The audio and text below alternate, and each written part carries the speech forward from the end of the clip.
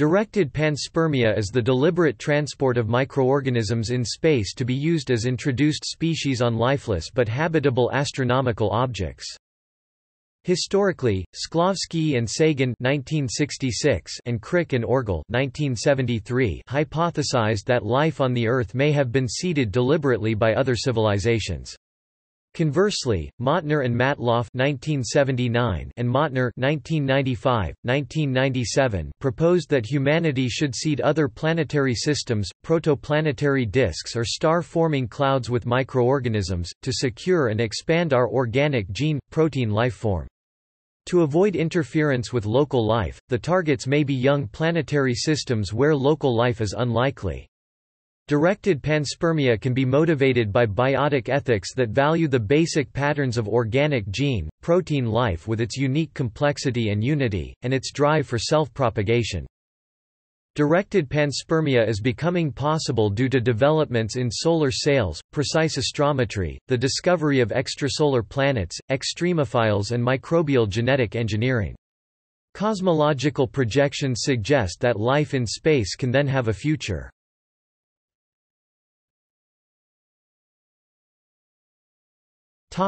History and motivation.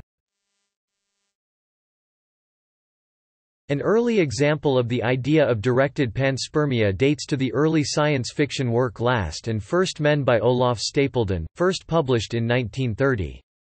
It details the manner in which the last humans, upon discovering that the solar system will soon be destroyed, send microscopic seeds of a new humanity Towards potentially habitable areas of the universe, in 1966 Shklovsky and Sagan speculated that life on Earth may have been seeded through directed panspermia by other civilizations, and in 1973 Crick and Orgel also discussed the concept. Conversely, Mautner and Matloff proposed in 1979, and Mautner examined in detail in 1995 and 1997 the technology and motivation to secure and expand our organic gene-protein life form by directed panspermia missions to other planetary systems, protoplanetary disks and star-forming clouds. Technological aspects include propulsion by solar sails, deceleration by radiation pressure or viscous drag at the target, and capture of the colonizing micro-organisms by planets. A possible objection is potential interference with local life at the targets, but targeting young planetary systems where local life, especially advanced life, could not have started yet, avoids this problem. Directed panspermia may be motivated by the desire to perpetuate the common genetic heritage of all terrestrial life. This motivation was formulated as biotic ethics that value the common gene, protein patterns of self-propagation, and as panbiotic ethics that aim to secure and expand life in the universe. Topic strategies and targets Directed panspermia may be aimed at nearby young planetary systems such as Alpha Psa 25 light-years light -years away and Beta Pictoris 63.4 light-years, both of which show accretion disks and signs of comets and planets. More suitable targets may be identified by space telescopes such as the Kepler mission that will identify nearby star systems with habitable astronomical objects. Alternatively, directed panspermia may aim at star-forming interstellar clouds such as Rho Ophiuchi Cloud Complex 427 light-years, that contains clusters of new stars too young to originate local life 425 infrared-emitting young stars aged 100,000 to a million years. Such clouds contain zones with various densities diffuse cloud habitable astronomical objects or habitable zones about nearby stars may be targeted by large 10 kg missions where microbial capsules are bundled and shielded. Upon arrival, microbial capsules in the payload may be dispersed in orbit for capture by planets.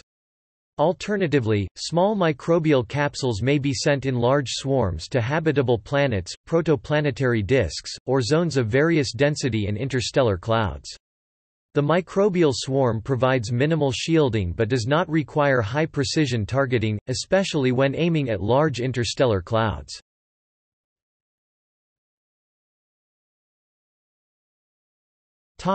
Propulsion and launch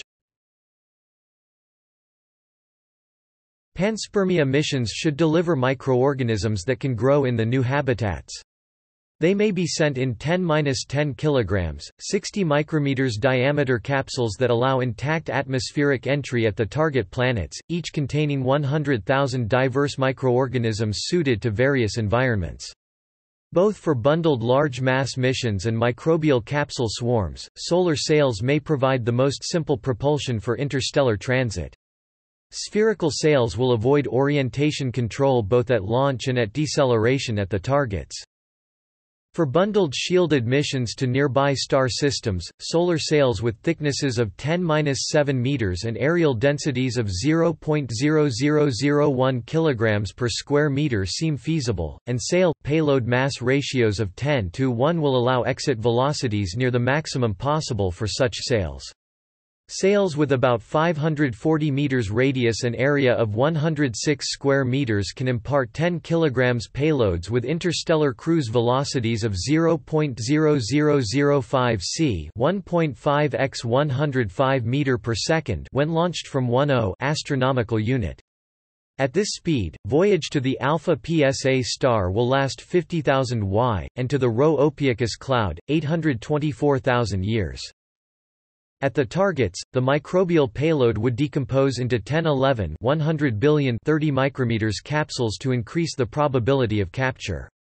In the swarm strategy to protoplanetary disks and interstellar clouds, 1 mm radius, 4.2 x 10-6 kg microbial capsules are launched from 1O using sails of 4.2 x 10-5 kg with radius of 0.37 meters and area of 0.42 square meters to achieve cruising speeds of 0.0005 c. At the target, each capsule decomposes into 4,000 delivery microcapsules of 10-10 kg and of 30 micrometer radius that allow intact entry to planetary atmospheres, for missions that do not encounter dense gas zones, such as interstellar transit to mature planets or to habitable zones about stars. The microcapsules can be launched directly from 1O using 10-9 kg sails of 1.8 mm radius to achieve velocities of 0.0005 c to be decelerated by radiation pressure for capture at the targets. The 1 mm and 30 micrometer radius vehicles and payloads are needed in large numbers for both the bundled and swarm missions. These capsules and the miniature sails for swarm missions can be mass manufactured readily.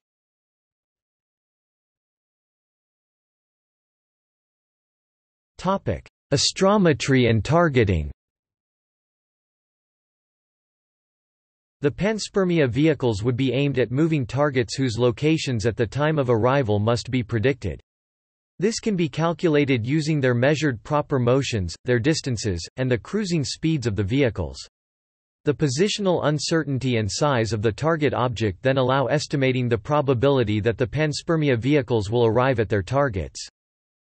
The positional uncertainty delta y m of the target at arrival time is given by equation 1, where alpha p is the resolution of proper motion of the target object arcsec per year, d is the distance from the Earth m and v is the velocity of the vehicle meter per second, delta y equals 1.5 times 10 minus 13 alpha p d2 v. Given the positional uncertainty, the vehicles may be launched with a scatter in a circle about the predicted position of the target. The probability target for a capsule to hit the target area with radius r target m is the given by the ratio of the targeting scatter and the target area. Target Topic a target pi delta y 2 4.4 times 1025 r target 2v2 alpha p2d4 to apply these equations. The precision of astrometry of star proper motion of 0.00001 arcsec per year and the solar sail vehicle velocity of 0.0005 c 1.5 times 105 meters per second may be expected within a few decades for a chosen planetary system, the area a target may be the width of the habitable zone, while for interstellar clouds, it may be the sizes of the various density zones of the cloud.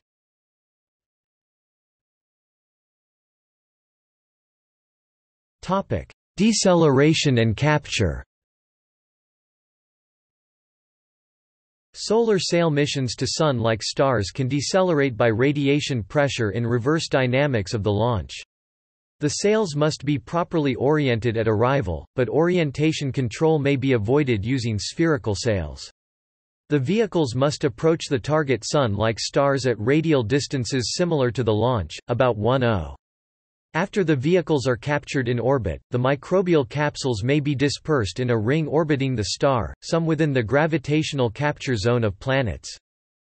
Missions to accretion disks of planets and to star-forming clouds will decelerate by viscous drag at the rate dv, dt as determined by equation 3, where v is the velocity, rc the radius of the spherical capsule, ρ c is density of the capsule and ρ m is the density of the medium dv dt equals 3v 2 halves rho c rho m rca vehicle entering the cloud with a velocity of 0.0005 c 1.5 times 105 meters per second will be captured when decelerated to 2000 meters per second the typical speed of grains in the cloud. The size of the capsules can be designed to stop at zones with various densities in the interstellar cloud Simulations show that a 35-micron radius capsule will be captured in a dense core, and a 1 mm radius capsule in a protostellar condensation in the cloud. As for approach to accretion disks about stars, a millimeter-size capsule entering the 1,000 km thick disk face at 0.0005 c will be captured at 100 km into the disk. Therefore, 1 mm-sized objects may be the best for seeding protoplanetary disks about new stars and protostellar condensations in interstellar clouds. The captured panspermia capsules will mix with dust.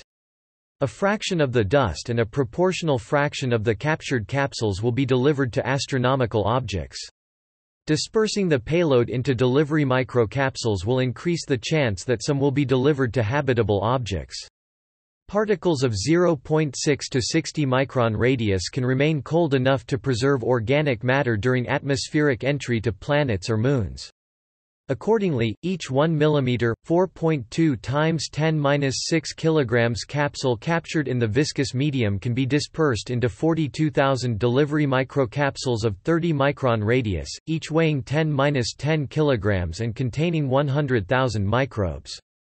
These objects will not be ejected from the dust cloud by radiation pressure from the star, and will remain mixed with the dust. A fraction of the dust, containing the captured microbial capsules, will be captured by planets or moons, or captured in comets and delivered by them later to planets.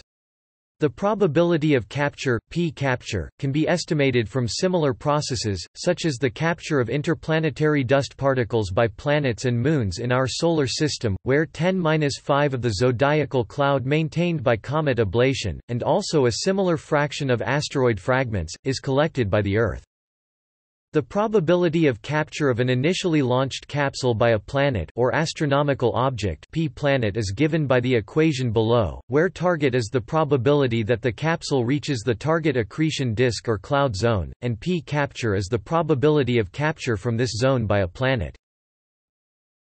p-planet equals target times p-capture. The probability p-planet depends on the mixing ratio of the capsules with the dust and on the fraction of the dust delivered to planets. These variables can be estimated for capture in planetary accretion disks or in various zones in the interstellar cloud. equals Topic: Biomass requirements. Equals after determining the composition of chosen meteorites, astroecologists performed laboratory experiments that suggest that many colonizing microorganisms and some plants could obtain most of their chemical nutrients from asteroid and cometary materials. However, the scientists noted that phosphate PO4 and nitrate NO3N critically limit nutrition to many terrestrial life forms. For successful missions, enough biomass must be launched and captured for a reasonable chance to initiate life at the target astronomical object. An optimistic requirement is the capture by the planet of 100 capsules with 100,000 microorganisms each, for a total of 10 million organisms with a total biomass of 10-8 kg. The required biomass to launch for a successful mission is given by following equation m biomass kilogram equals 10^-8 p planet Using the above equations for target with transit velocities of 0.0005 c, the known distances to the targets, and the masses of the dust in the target regions then allows calculating the biomass that needs to be launched for probable success. With these parameters, as little as 1 gram of biomass 10-12 microorganisms could seed alpha PSA and 4.5 gram could seed beta pictoris. More biomass needs to be launched to the Rho-Ophiuchi cloud complex, mainly because its larger distance. A biomass on the order of 300 tons would need to be launched to seed a protostellar condensation or an accretion disk, but 200 kilograms would be sufficient to seed a young stellar object in the Rho-Ophiuchi cloud complex. Consequently, as long as the required physical range of tolerance are met e.g., growth temperature, cosmic radiation shielding, atmosphere and gravity, life forms viable on Earth may be chemically nourished by watery asteroid and planetary materials in this and other planetary systems.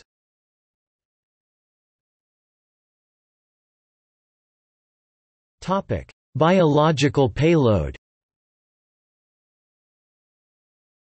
The seeding organisms need to survive and multiply in the target environments and establish a viable biosphere.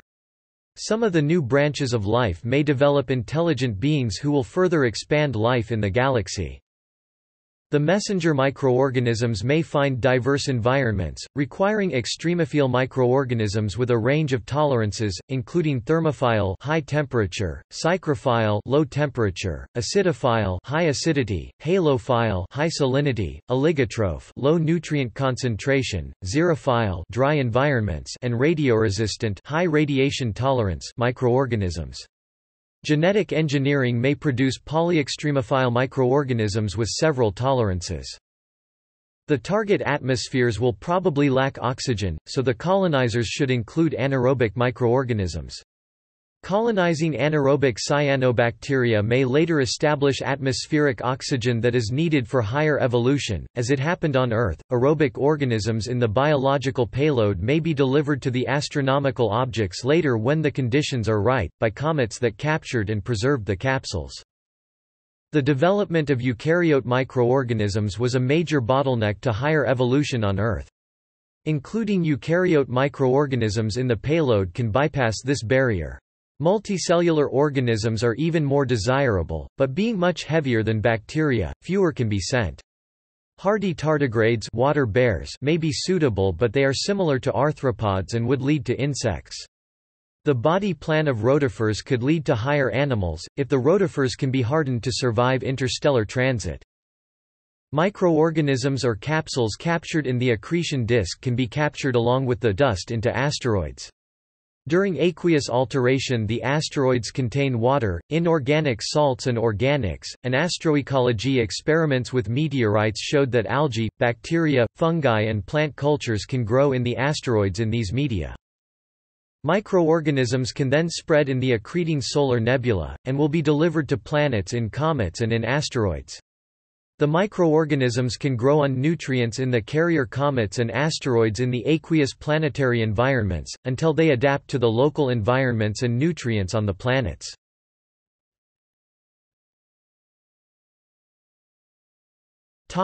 Signal in the genome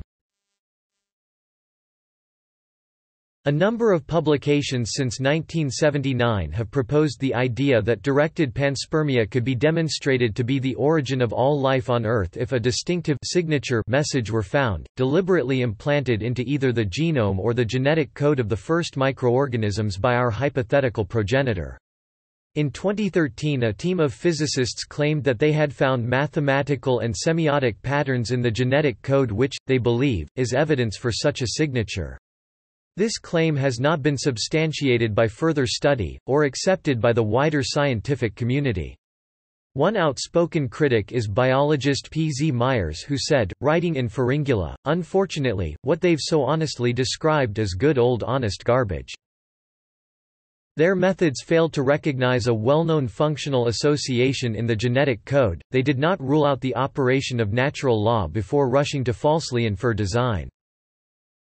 We certainly don't need to invoke panspermia.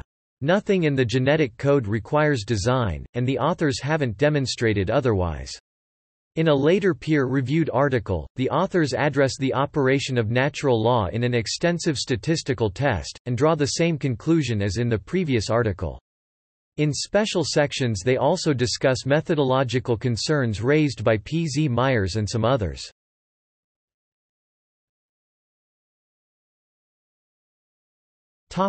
Concept missions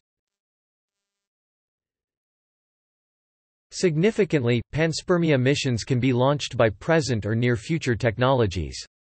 However, more advanced technologies may be also used when these become available.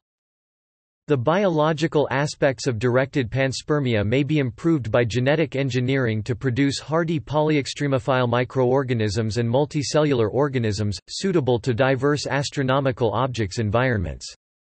Hardy polyextremophile anaerobic multicellular eukaryotes with high radiation resistance, that can form a self-sustaining ecosystem with cyanobacteria, would combine ideally the features needed for survival and higher evolution. For advanced missions, ion thrusters or solar sails using beam-powered propulsion accelerated by Earth-based lasers can achieve speeds up to 0.01 c 3 by 106 meters per second. Robots may provide in-course navigation, may control the reviving of the frozen microbes periodically during transit to repair radiation damage, and may also choose suitable targets. These propulsion methods and robotics are under development. Microbial payloads may be also planted on hyperbolic comets bound for interstellar space. This strategy follows the mechanisms of natural panspermia by comets, as suggested by Hoyle and Wickramasinghe. The microorganisms would be frozen in the comets at interstellar temperatures of a few kelvins and protected from radiation for eons. It is unlikely that an ejected comet will be captured in another planetary system, but the probability can be increased by allowing the microbes to multiply during warm perihelion approach to the Sun, then fragmenting the comet. A 1 km radius comet would yield 4.2 x 1012 1 kg seeded fragments, and rotating the comet would eject these shielded icy objects in random directions into the galaxy. This increases a trillion-fold the probability of capture in another planetary system, compared with transport by a single comet. Such manipulation of comets is a speculative long-term prospect. The German physicist Claudius Gros has proposed that the technology developed by the Breakthrough Starshot initiative may be utilized in a second step to establish a biosphere of unicellular microbes on otherwise only transiently habitable astronomical objects. The aim of this initiative, the Genesis Project, would be to fast-forward evolution to a stage equivalent of the Precambrian period on Earth. Gros argues that the Genesis Project would be realizable within 50 to 100 years, using low-mass probes equipped with a miniaturized gene laboratory for the in situ cell synthesis of the microbes. The Genesis project extends directed panspermia to eukaryotic life, arguing that it is more likely that complex life is rare, and not bacterial life.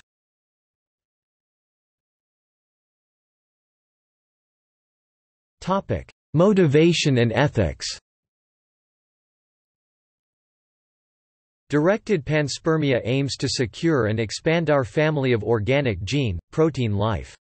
It may be motivated by the desire to perpetuate the common genetic heritage of all terrestrial life.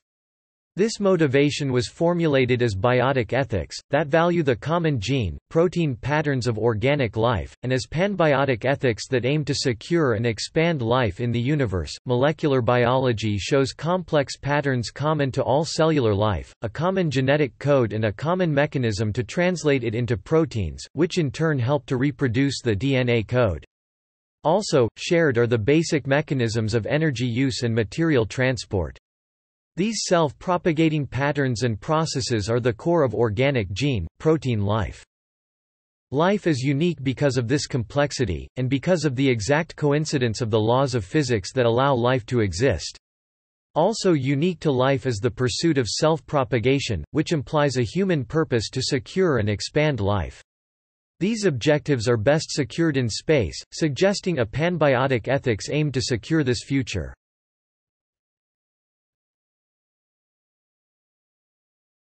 Topic: Objections and counterarguments The main objection to directed panspermia is that it may interfere with local life at the targets. The colonizing microorganisms may outcompete local life for resources, or infect and harm local organisms. However, this probability can be minimized by targeting newly forming planetary systems, accretion disks and star-forming clouds, where local life, and especially advanced life, could not have emerged yet. If there is local life that is fundamentally different, the colonizing microorganisms may not harm it. If there is local organic gene, protein life, it may exchange genes with the colonizing microorganisms, increasing galactic biodiversity. Another objection is that space should be left pristine for scientific studies, a reason for planetary quarantine.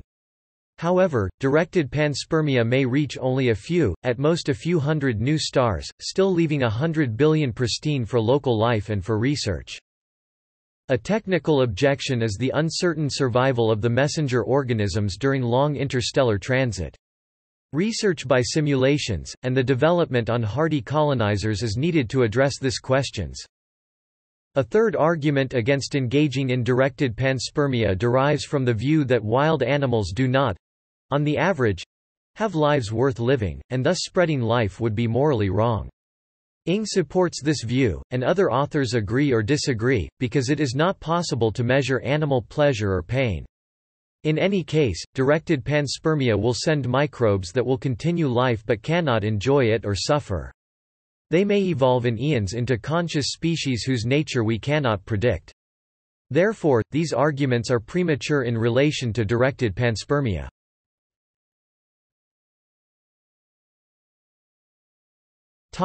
In popular culture The discovery of an ancient directed panspermia effort is the central theme of The Chase, an episode of Star Trek, The Next Generation. In the story, Captain Picard must work to complete the penultimate research of his late archaeology professor's career. That professor, Galen, had discovered that DNA fragments seeded into the primordial genetic material of 19 worlds could be rearranged to assemble a computer algorithm.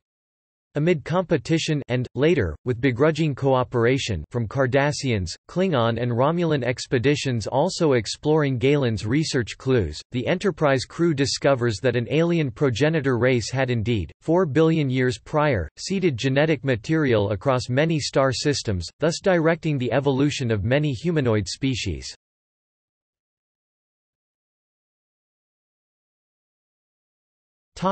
See also Astrobiology. List of microorganisms tested in outer space. Planetary protection